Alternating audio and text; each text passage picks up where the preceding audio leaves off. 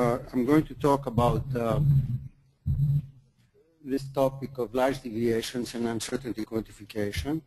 And um, it's a subject that is relatively new for me, that I got into it uh, about four or five years ago. Uh, connection with the Energy grant that the Mechanical Engineering Department got. And I played a small role in this. Uh, I started out, just to say a couple of things about the setup.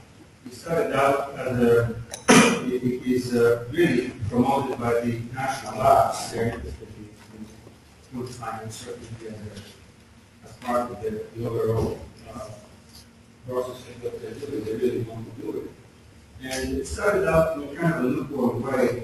The mechanical One way, the mechanical engineers didn't quite know what to make of it. I wasn't quite sure what to make of it. Uh, I, there were moments where I was a little bit cynical about it, but I think four years on, uh, this has taken a dimension that's I think quite interesting, mathematically, scientifically, so to speak. So I'd like to convey some of the ideas that emerged from, uh, from this discussion and, and the, the interaction between the mechanical engineering community, mechanical and aero, and myself and the more mathematically applied math community has been very good. I want to then um, discuss this a little bit. Then I want to talk about linear, linear waves in random media. This is what something I've been working on for many years. And I want to say a couple of things about this uh, and go to nonlinear waves and contrast what happens between having linear waves in uh, linear wave propagation as you would in a, in a, in a seismic situation and then have nonlinear waves. What's the difference when, you, when they're both propagating in strongly inhomogeneous media? If you, if you know the answer, think about it, you will see something interesting happens. You may already know it. Uh, and the application, of course, for nonlinear waves, a very good application is the flood surge of a rough topography, the same topic that was presented yesterday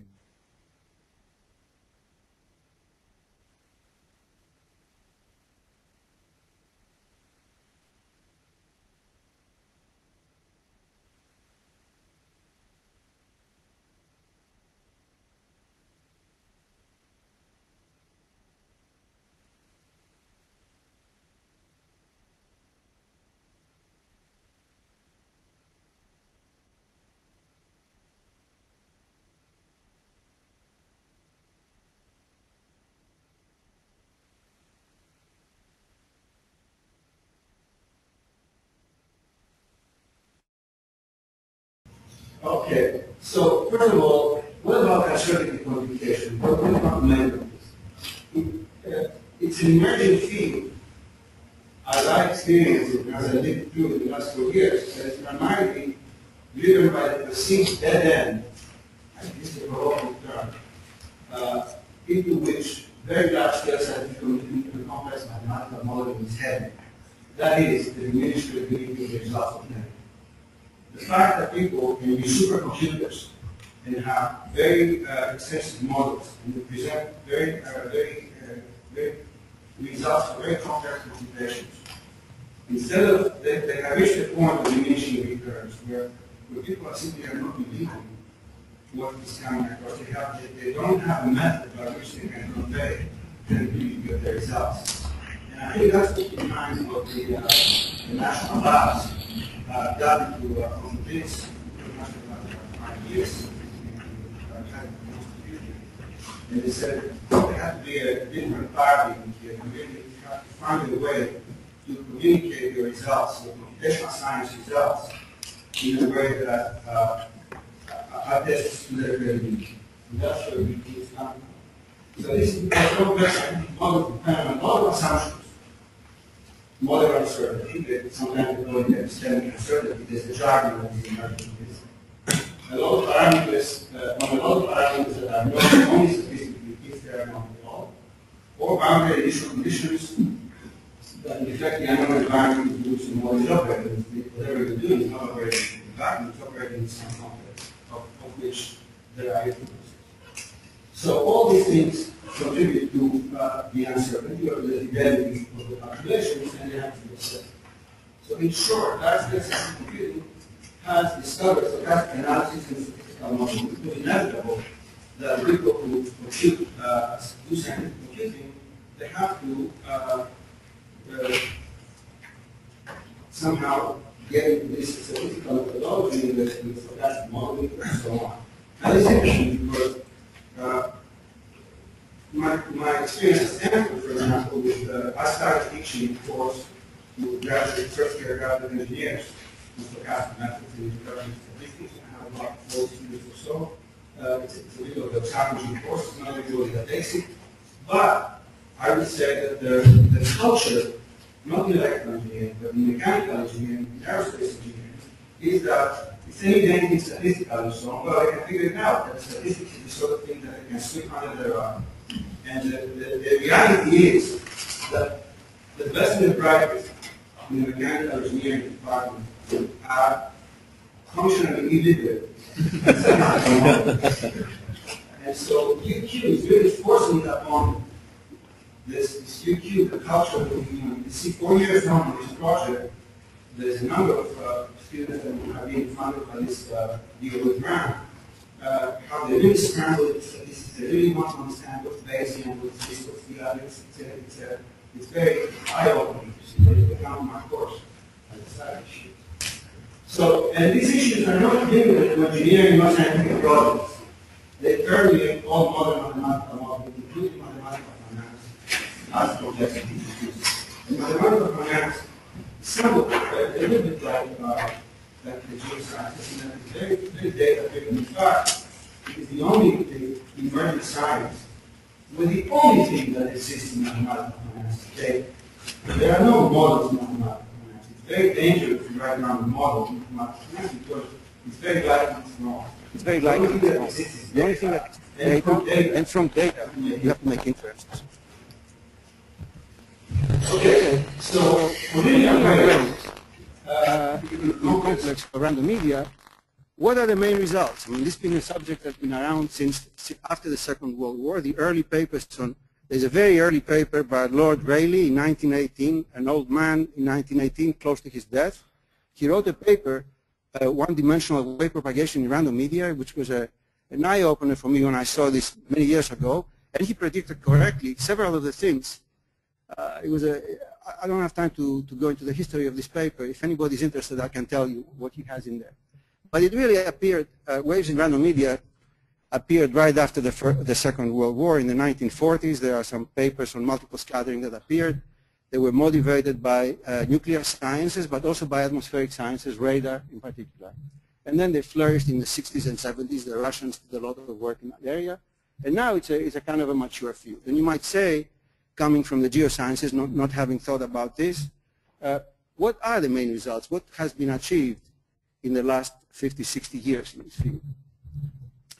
And uh, first of all, there are some simple things that, that waves, are, waves that propagate in an inhomogeneous medium are primarily affected by inhomogeneities that are, that, that are on a scale, on a spatial scale that is comparable to the wavelength. In other words, if you have inhomogeneities that are uh, more or less on, on fine scales, and you send a, a, a, long, uh, a wave with long wavelength, it will not see them. Uh, and that might explain why, for example, that in, uh, in global uh, seismology, uh, random media doesn't play such a big role.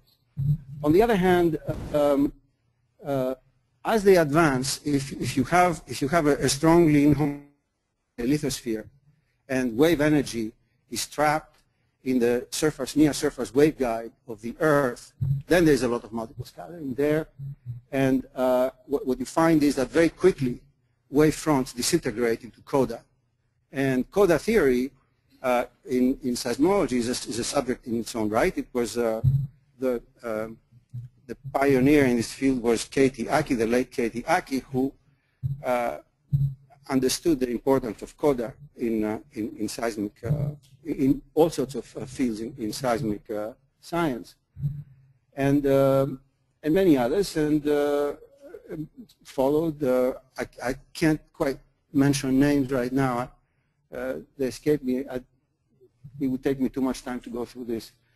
The main result is is that there is this conversion from from coherent energy that moves with the front of the wave into incoherent energy that goes into the coda. And that the theory, the mathematical theory, has done very nicely, I think, has understood that. I worked very hard on this. And for many, for many things, for isotropic versus anisotropic, there's a huge difference in random, huge role in random media. It's not, it's not just a technical thing. And there is a new phenomenon of wave localization that occurs in strongly uh, layered media, which it's hard to see in, in real geophysical problems, but you have to look in very special circumstances to see. One of the things that, uh, that came up, it's easy to explain, it's a soundbite, is the following, that, uh, and this was, this result, uh, a lot of these results for, for random were motivated by, by the um, test ban treaty verification seismology that flourished until, until the, the Soviet Union collapsed in the early 90s, and that, that, field, that research stopped being promoted. And it was the following. When you have wave energy trapped in the, um, in the near surface uh, waveguide, then, uh, and you look at the coda and you try to figure out how much energy in the wave is in the, in the shear wave and how much is in the P wave. And you find, this is an empirical evidence, that the ratio of energy from shear to uh, compressional waves is of the order of 10 to 1. In other words, 10 times more shear wave energy than compressional wave energy. This is an empirical law. It was very interesting that if there is such a law, uh, where does it come from? And it was a, I think it was a, it was an interesting success of the theory that it comes out of an ergodic theory. It comes out of multiple scattering. It's not, a lot of people attempted to explain it with single scattering. It's not a single scattering phenomenon. It's really a multiple scattering phenomenon, and it has a very nice explanation. I think it's this theory. Uh, in exploration, the, the, where is the UQ? Where is the uncertainty quantification? It is, it is in imaging. I think it's the modern imaging is all about uncertainty quantification. Modern seismic imaging, uh, primarily in exploration geophysics, is really a, a, a study of the trade-off between resolution and signal-to-noise ratio. You, you try to improve resolution, you use more data, uh, you might be you might lose your signal-to-noise ratio. It's a, it's a, it's a highly it's a massively data-driven science. I think it's a it's a beautiful field for, for applied mathematics, for people who are interested in modern applied mathematics. Seismic imaging, I was telling Ridge a, a few minutes ago that it's a subject that, that is, uh, has the potential to be at the very core of modern applied mathematics, interdisciplinary imaging science. Uh, it, what about nonlinear waves? This is all about linear waves. For nonlinear waves, uh, the, the, the, the, striking thing is, is that randomness all of a sudden becomes relatively insignificant. Nonlinear waves are extraordinarily stable and are not easily influenced by homogeneities, contrary to what happens in linear wave propagation. You need different methods. You can't try to, to understand linear waves by the same uh, nonlinear waves by the same methods that you use for linear waves. You cannot do it. And uh, a good application of this is flooding over complex topography. You really want to find it's a it's a surging. You have a, a very complex topography like a, a coastal area or, or, or, an urban environment. And you, you want to, it's a highly complex topography uh, and you want to see how uh, the, the, the flood is surging into this region. How do you quantify that? Uh, very complex equations. The shallow water equations are a very poor way to describe what happens over rough topography. Shallow water equations are a depth average kind of equation. How can you do depth averaging when the topography is all over the place? So uh, there are very interesting questions about how do you quantify the uncertainty into this dimension reduction that comes with a depth averaging. How do you really rationalize the depth averaging by adding UQ to it? So, uh, and one of the things that uh, pushes itself on you, I think, is the large deviation theory, which I think is a good tool for, for doing just what suggested. And now let me, let me explain to you in a very simple context what large deviation theory can do.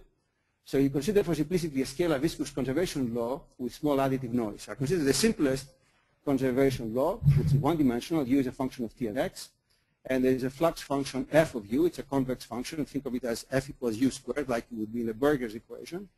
There is a, there is a diffusive term, and there is an external forcing Brownian term. This could be uh, topography. There are many, many models, many, many physical models that boil down to this sort of thing with a W, some kind of an environmental effect. Uh, you might say, what about time if it's environmental? Why is it changing in time if it's topography?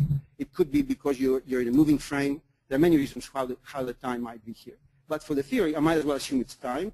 it's easy to, to convert it to time if I don't have it by moving into moving coordinates. And then this W is really a Brownian motion field, which means that it's a collection of, of uh, Gaussian random variables at t and x, which have this cross-correlation function at two different time space points, tx and t prime x prime, which is given by the minimum, this wedge means minimum of t and t prime, and um, phi multiplied by phi adjoint, which is this, this integral thing, uh, this in continuous space. Now, due to the uncertainty in the randomness, the shock structure, this, this, uh, the unperturbed problem su su supports shocks, wavefronts that propagate in a certain way. So what about, how, do, how will the, what will the randomness do? It's possible that, uh, that the way that the shock as it goes through this random medium has the external front will, will disintegrate, will just, will just break up and you won't see it. Doesn't happen. It's an extremely, it's an extremely uh, strong structure, but what might happen is it might displace itself. You expect it to be here. The shock is advancing. The surge is advancing. You expect it to be there but it's actually a little bit further ahead or it, it's somewhere to the side. How could that happen? So on, with what probability can it happen? Because it, this, this is going to be a deviation that is created by the noise. And the large deviation principle says that if you consider a set of solutions, a set of, of, uh, of well, a set of views, they don't quite have to be solutions, a set of views that have some property. For example, they're in, they're in the wrong place. They're not quite solutions. They're in the wrong place from where they should be with respect to the unperturbed problem. Then you can calculate the very small probability uh, with which uh, that event uh, would occur by this exponential formula that, that, reduces everything to a variational problem. There is a rate function, I of u, which is a weight residual with respect to the conservation law. It's on the next slide. And it says calculate this weighted residual. So you're calculating very, very small probabilities now. This is the probability of a rare event happening. Epsilon is a measure of the strength of the external perturbations that, that you're putting in there. And I can get rid of the epsilon. I, I can put everything into a, in a robust form by saying all that really interests me is not individual probabilities. When I'm considering large deviations, I'm not really interested in finding out how small is a probability because that's, a, that's an unusual thing to try to calculate. I want to know, is this event much more unlikely to happen than another event. It's the relative probability that is robust. And here's, a, here's how you do it. You define that ratio R, this index, which is a, the logarithm of the probability of the event A happening over the logarithm of B. According to this uh, large deviation formula, it is the ratio of two calculus of variations problems. This I of Q, you can see on the next slide. And when you uh, write this in alpha laws, you can see what, what it's telling you is all you're going to be computing is this exponent r. This exponent r is you whose probability you can calculate speeds more or less, let's say 10 to the minus 2 is probability. And 9 is 3. Okay? 10 to the minus 2. This is, this is a 10 to the minus 6 probability. This you may be able to calculate somehow by solving, by using Carlo or something. It's relatively okay. But this one you can never calculate, 10 to the minus 6. But you have a very good estimate for this power. Not only you have a good estimate, but this is robust. You can get error bars for this. Both representing and for other kind of. So that's the spirit, look for something that has a robustness.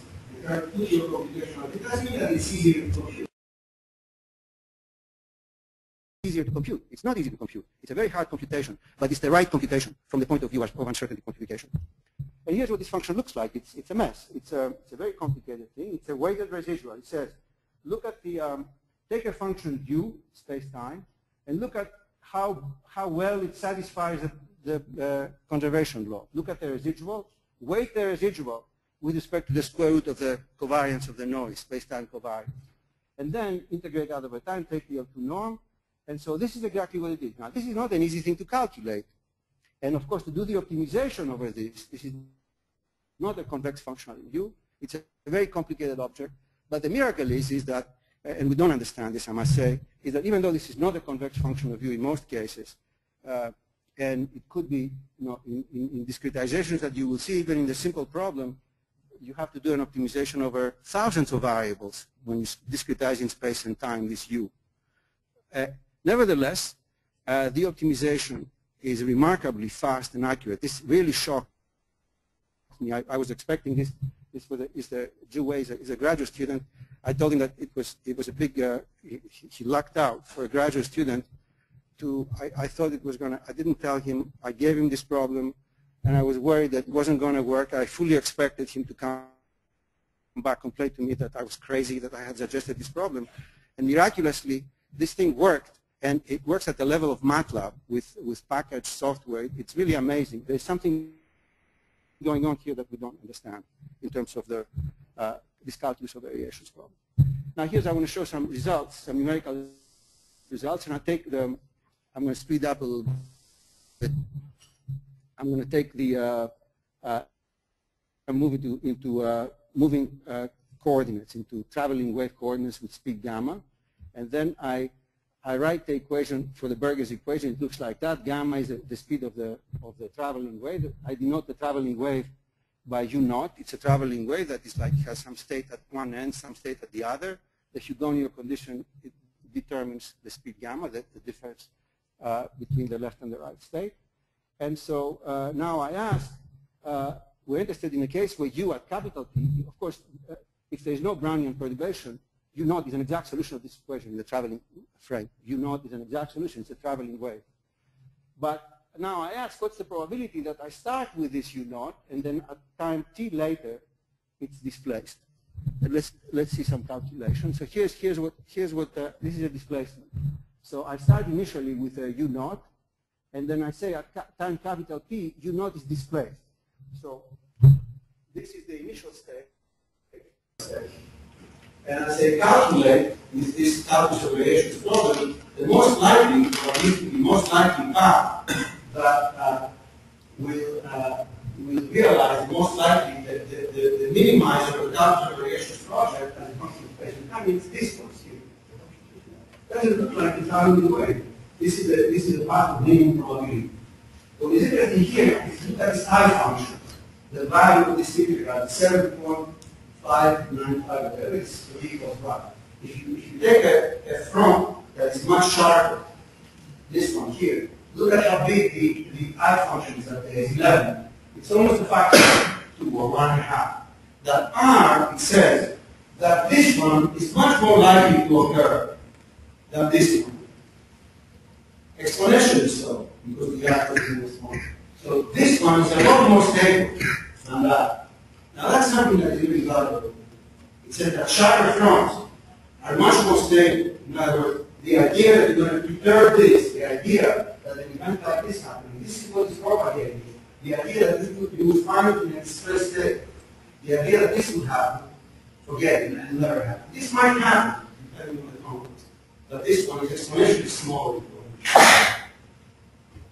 And the same thing, even dramatically so when you try to change the speed.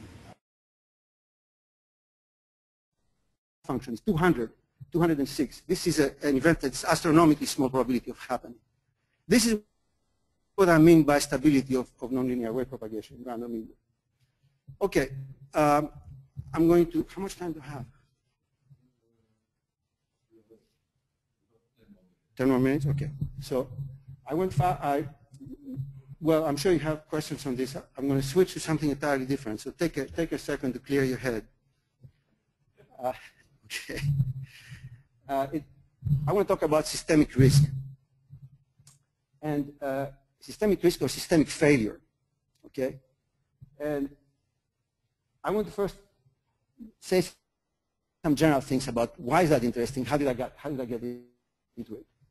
Is it of interest to geosciences? This is a question to you. I don't have an answer to it. I, I took a chance to present it here just because I'm working on it. I've been working on it for the last year and a half, and I, am very excited. I think it's an interesting problem. And what it really is, is it's really a study of dynamic phase transitions. If you're a physicist, all I'm doing is dynamic phase transitions. And special class of dynamic phase transitions. So uh, it, nothing, nothing unusual that way. It's just doing it with stochastic methods. Okay, what is systemic risk and why is it interesting?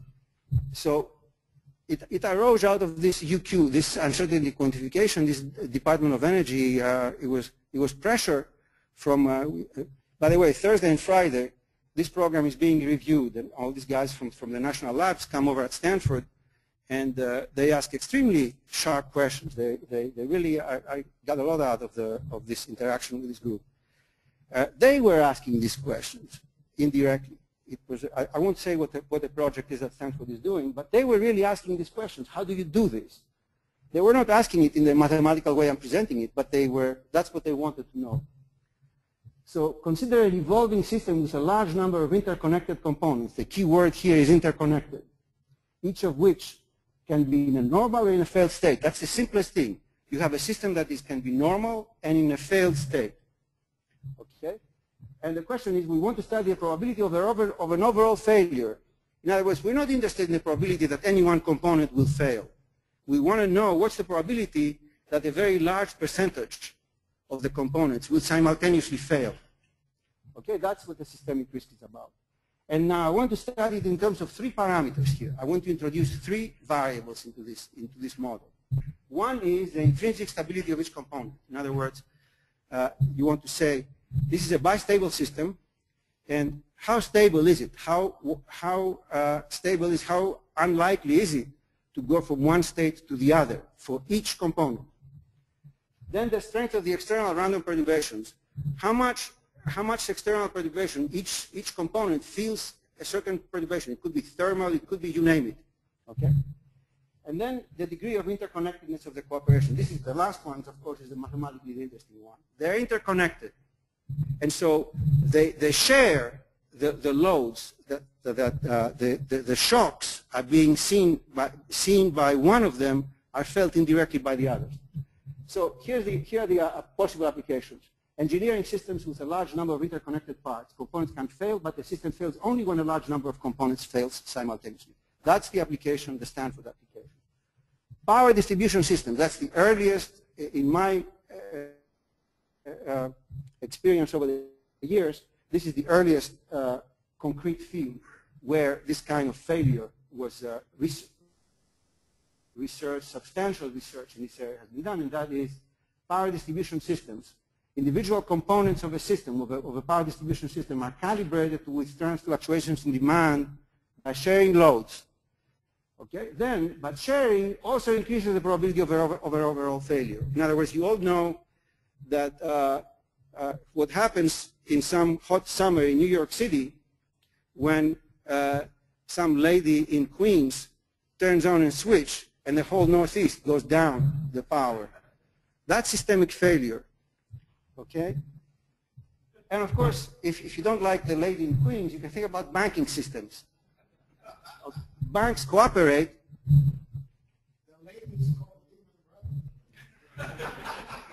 George, I think you want to be no, that's sovereign debt, please. Let's not get. Let me do the generalizing. Let me talk general. Okay, banking systems. Banks cooperate by spreading risk uh, of credit shocks. They cooperate with each other, uh, and, and then uh, they can function with different, what they call the Basel rules, which are the rules that tell you how much uh, reserves a bank can have. So if a bank has a lot of reserves, it's relatively insensitive to shock. So a bank is really a bistable system. Either it can, it can be in a, in, a, in a safe state, or it can be in a failed state. And it can be in a healthy state or in a failed state. And uh, the external shocks are credit shocks. That means that certain of their, of their uh, creditors are unable to uh, fulfill their obligations. And the bank all of a sudden thinking that it's gonna, it has a certain amount of capital, it doesn't really have that capital and it's in a state of failure. On the other hand, the banks are being helped by their neighbors and uh, by the other banks. So the banking system cooperates. I mean, if a bank is in trouble, uh, the other banks lend to them. But here's the interesting thing, and this is what the main result of the of the of the mathematical analysis. This, this you can replace banks by insurance companies. Spreading the risk is really helpful. It really it really says that the banks, for example, can operate in a more in a more risky way. They can reduce their reserves, make make higher profits. But it increases the, it increases the risk that the whole system will fail. Who is counting? Who is watching? Everybody is worried about their own bank failing. And by sharing the risk, they know that, okay, that is mitigating the effect of a possible credit shock. Who is watching that the whole banking system is not going to fail because everybody is cooperating? Okay, that's presumably the Federal Reserve or a central banker or something, or maybe nobody. Okay, so here's a mathematical model. You have a risk variable, or whatever that failure might be, which is uh, which is denoted by xj. Don't ask me what it is exactly because that's really a, a very difficult thing to, to say and there's a long story behind it. So this xj is a, is a real variable. Uh, j is labels the components, there are n of them, and there are the three quantities here. The first one is uh, a force that tends to keep you into one of the two stable states. There is a potential, which is a bistable potential.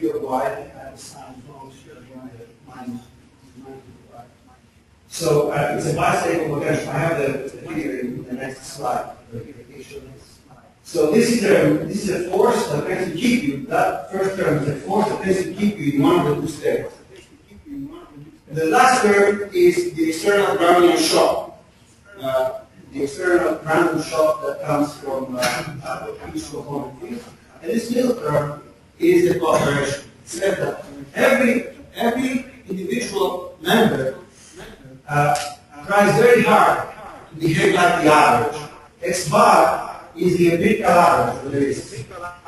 So the rule is that if you behave uh, as close as you can uh, in the way your neighbors behave, that should stability to the system. So if theta is large, the system is such that theta is large, that means that, that the individual uh, components of the system very quickly react and, and mean revert back to the empirical mean. If they don't do that, if the theta is relatively small, the system is kind of sleepy, doesn't respond quickly, and that suggests that it might be systemic. That's in fact what happens. That the theta is very important. Right? When you have diversity, I call the theta, the theta is high for Northern Europe, and the theta is low for Southern Europe. But it's only more or less the dynamics of how, how how various uh, components, how various uh, components of a system respond to, to obeying the rules. So a typical, eh, let me just show you let me just show you the, the potential. this is a what it figure looks like. Here's the, this is a figure that you have a bistable potential, it's like a double, double, double potential. And each component is in some state, let's say it's in a good state. And the noise is perturbing. But there isn't so much noise that we it to go the noise is sufficiently small, the external shock is sufficiently small, or the depth of the well is sufficiently deep, then it will stay more or less in this state. Except that there is a small probability that a large shock will come and kick it over. But that can happen for one, two, or three. But what's the probability that will happen for most of them? So what's the probability that the X bar is here today? That's the large deviation problem. That's a problem that was solved very elegantly more than 20 years ago more than 20 years ago by Dawson and Gärtner, two mathematicians. And, uh, And uh, this is what I want to describe. and for a uh, couple this is of what I want to minutes. describe for a couple of minutes more. Let me just say a couple of things. a couple of things. Why is model? Why this model? You might say, where did this model come from? In some sense, this is the simplest model. In some sense, this is the simplest model that I could think of that has this except the main results at the The bottom main here is the result the bottom here is the uh, mitigating the idea of the cooperation idea of as cooperation as a mitigator of individual risk has the consequence that it increases systemic risk. So that's what uh, we predict. A very nice uh, application of large deviations here. Here's one of the main Here's the, results. one of the main results of this thing is that uh, this uh, It's a empirical distribution of the risk function. I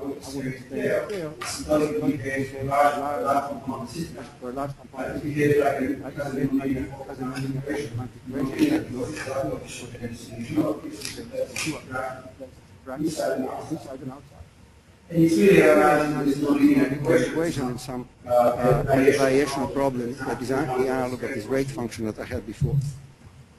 Uh. Uh, I will skip that because I think I'm, uh, how's my time?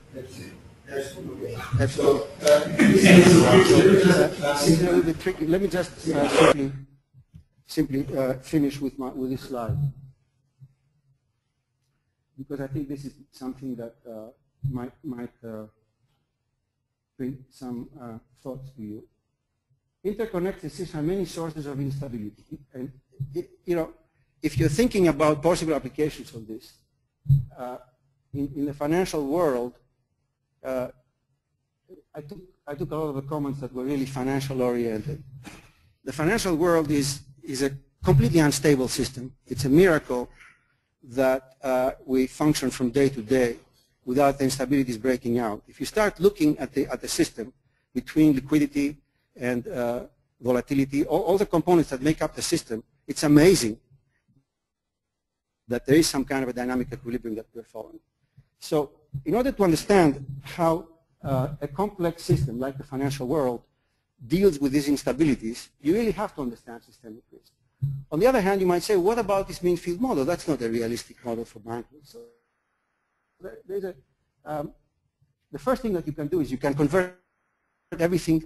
Nothing can be computed analytically, by the way. Everything, everything boils down to, to rather large numerical computations here too. So uh, there is no implication that this large deviation theory somehow simplifies things. It's just the right quantity to look at. It's not the simplest or the, the quickest. Uh, so one thing that you can do is you can, you can convert everything. You know, you can hide all these theoretical things and build a, a numerical algorithm from one end to the end with, which doesn't really see this, uh, this rate function is built into the algorithm. And that's, that's what importance sampling is, and it's a very, uh, this is something that we are developing right now, and I think it's, a, it's really a good way to convince people who, who are kind of allergic to too much theory. Uh, the other thing is, can dynamic control mechanisms uh, help mitigate risk? That's not of interest to geophysics because there's no, there's no way that in geophysics you can intervene and stop something from happening. Uh, the other thing that is interesting here is hierarchical and diversified models of systemic risk. There is a vast number of other models you can think of. Hierarchical in terms of scales, uh, systems that have a, a, dominant mode. There are any, number of things you can do. And there are very interesting algebraic, mathematical algebraic problems that come up in connection with this. And the last moment is, is that, that it just occurred to me as I was thinking about this, uh, does this have anything to do with the phenomenology of the onset of earthquakes? And I, I leave that, this is my last comment. Thank you.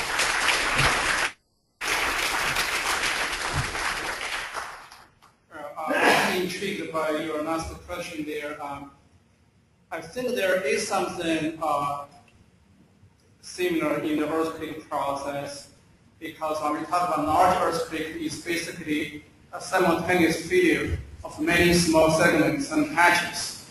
But uh, since you did not have time to elaborate on what we can learn by doing these mathematical models to better understand the system, so I'm asking a question to give you a chance to talk more on what we can learn from here. Well, looking at mathematics, uh, I think what you really what you're really asking is, you don't want me to say, well, you just tell, first of all, you have to design the model in a way that you think realistically describes this phenomenon. It's not going to be a mean field model, it's going to be more complicated. Then you have to, uh, uh, to calculate something with it. Now, you can calculate as, as well as I can. What will the mathematics tell you to do? The mathematics will tell you, uh, will simply, very economically, point you to what to calculate. It will tell you, design the model. Maybe it will guide you to how to simplify the model and, and, and uh, remove excessive complexity that is really unnecessary. And then it will tell you how to look for how to, uh, to formulate a problem so that the calculation is efficient. It's not going to be easy, but it's going to be relatively efficient, and it's going to lead, it's going to go to that index. So the, the takeaway message from me is, don't try to calculate the small probabilities that an earthquake will happen but try to calculate something logarithmic, like an index. And uh, I, you have to put priors in it. I'm not exactly sure how to say that, but that's my intuition. Of course, going to start at the same point and go perhaps take it a step further. I think one of the things that's very interesting here that we've learned in the last 20 years is that perturbations in the Earth, which appear to cause earthquakes, phenomenologically they do, are much too small to make that happen. In other words, we are, we, if, we, if we have an earthquake, it, the changes in stress resulting from that earthquake do appear to cause other earthquakes. But at face value, the perturbations involved are much too small for that to be physically possible.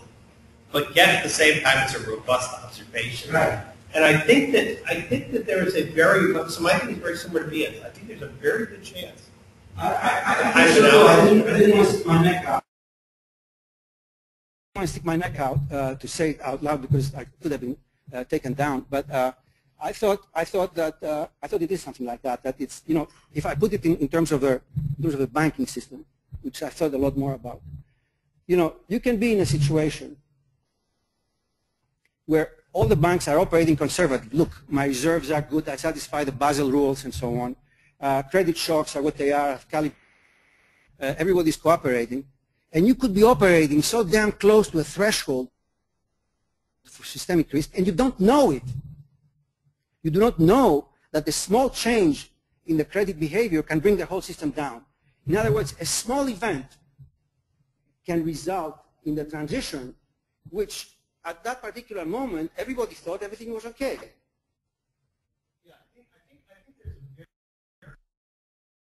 Dave would, I think Dave would agree with the statement that, you know, wouldn't you also that we, we are finding increasingly that perturbations that seem much too small to do anything are in fact, I mean, the, the phenomenology is much too convincing by now for this not to be true. But yet at the same time, theoretically, you know, it's like the stress is involved with you. If if I touched your forehead, okay, and yet, when you calculate that mathematically, that's, that's enough to induce an earthquake. You say this is ludicrous. So I think you're onto something very, I think there's a possibility that this is a I- I- very interesting way to think It's not, about it's not, by the way, it's not a mean field model because obviously By the way, it's not a mean field model because obviously when, you, when you're talking about the, the fault structure and components inside the fault that, that have to, you know, in order to get a large earthquake, somehow the release has to be simultaneously for all of them. They're all more or less critical and a little one falls and then it spreads out the fault. But there are models, there are ways to, to model this. It doesn't have to be a mean field model. You can put this into the model. I haven't done it, but there is literature on this, uh, by others. I remembering it. With the, the relative proportions of S wave and shear wave and compressional wave energy, remember that if you're in a homogeneous whole space, Yes. so there's no, there's no scattering to anything, Yes. and you simply look at the Green's function, Yes. you will generate S wave energy to P wave energy in a ratio which is proportional to cube of velocities. So in other words, if you simply have an earthquake in a homogeneous medium, on average the S wave energy is five times greater, not necessarily ten. It's ten, I think. I- No, no, no, I'm saying, 10, I think. I, I don't even, I'm saying, hold on, I'm saying, I'm not talking about scattering. Oh, yeah, the, yeah, right, right, right. And that's, that's exactly the starting point. So the starting point was, in other words, if you look at this black body radiation and the microscope, microcanonical equilibrium that you have, the thermodynamic equilibrium, and you try to extrapolate that to what happens in the waveguide, you get the wrong answer. This is where I got into. This was the mid-90s. I, had, I knew of the work of it does require a factor of two right, right. So, over what we expect, it's not a factor of 10. So what happens is when you add. Into this waveguide structure, if you add in homogeneities, all it does is uh, at, the, at the microscopic equilibrium of the corresponding radiative transport equations for the, for the wave energy, which is what the operative equations are when they're scattering, you go from the elastic wave equations to their analog at the level of radiative transport. And you look at the, what the microscope, microcanonical ensemble would be there, and that brings down the factor of 10 almost immediately. It's a cheap result if you know how to look at it. And it, it, it's head on, uh, uh, on, the, on the correct result. I was, I was stunned by this. I have a personal letter from Keiiti Aki, who's a, who's a dear friend, who, who, uh, who was very surprised by this. He really, he really liked this result, and you know, it made, made, a, made a lot of.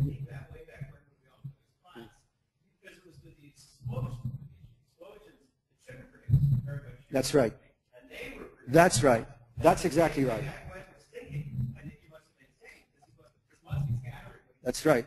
He was very concerned about this, and it was a very central question during the test ban treaty years. This was dead central, because the question was, how do you distinguish an explosion, which is all compressional, from a, shear-generated wave, which is an earthquake? How do you distinguish the two? And the fact of the matter is, if you go sufficiently further down the waveguide, you can't tell the difference, because the scattering has converted everything to, uh, to shear waves. But there was another thing. There were. Let's not get into that. There's some other things that happened that I think really, really solved that problem. The LG wave. You guys know this. Is in fact, it is in fact a scattered wave, and the LG wave is in fact what you're talking about. These Yeah. findings have been done. I Yeah, think you right. done. Some people in France. But it illustrates what you're talking about. Some people in France did them, and it worked very well. comment regarding bullet number two here about uh, dynamic control mechanisms not being a geophysical problem.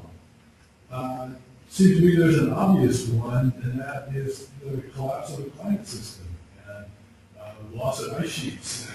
And here is a case where uh, certainly a geophysical problem, uh, where humans intervene in the system in which there are very strong interactions. But humans intervene intervene not in a, in a systematic way. They, they don't intervene to, to cause some action. They intervene by their behavior.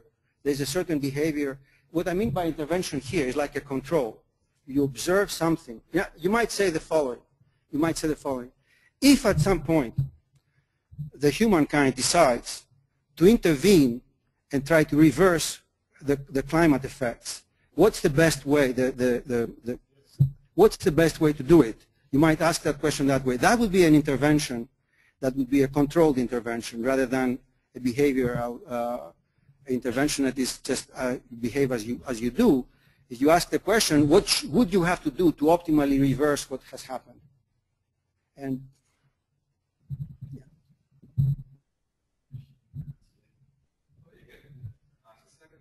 turn around the climate situation, if you say something of the sort. First you said in basin space, so therefore you use your mean field theory, plus the data.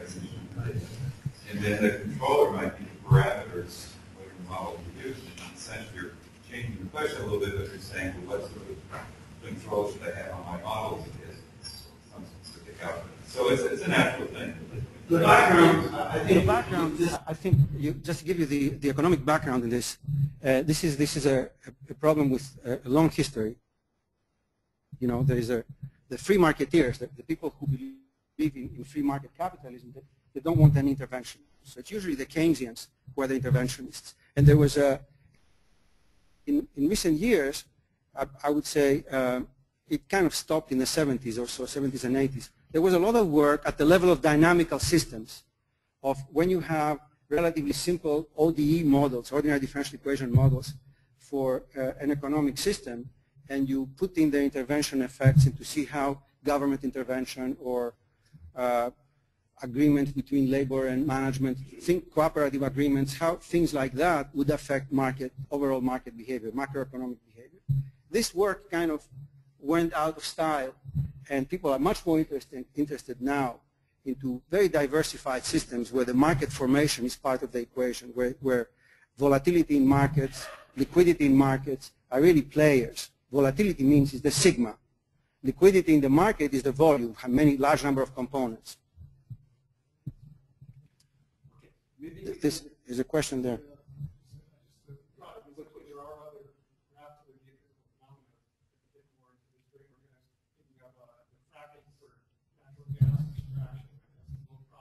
the process could, could lower that probability, and, and so maybe that, so maybe there are examples, you know, of course, more smaller scale examples where, where an intervention in the way you have in mind would actually be relevant.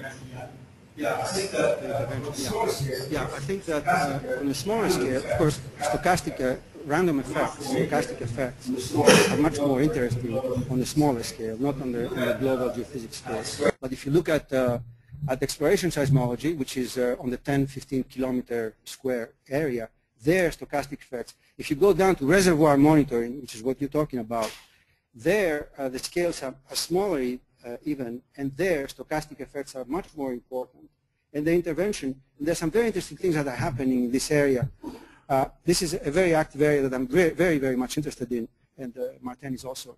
Uh, it's, um, it's an area which has tremendous possibilities for mathematical research. A lot of things that are happening uh, in, in, the, in the immediate vicinity of reservoirs for cheap monitoring, possibly for intervention. Uh, some of them are being done, but some of them, a lot of opportunities are, uh, the, the people who can do them are not doing them for lack of scientific manpower. I think people, the people who are involved in these kind of uh, things, they don't really know how to deal with their data They don't give you their data. I gave a talk on, on, on, on this, some of these ideas with this noise, uh, noise imaging that I mentioned, and there were people from Schlumberger in the audience and immediately understood what I was saying, and they promised to send me the data. A year and a half later, I don't have their data. They, they won't give it to me because, you know,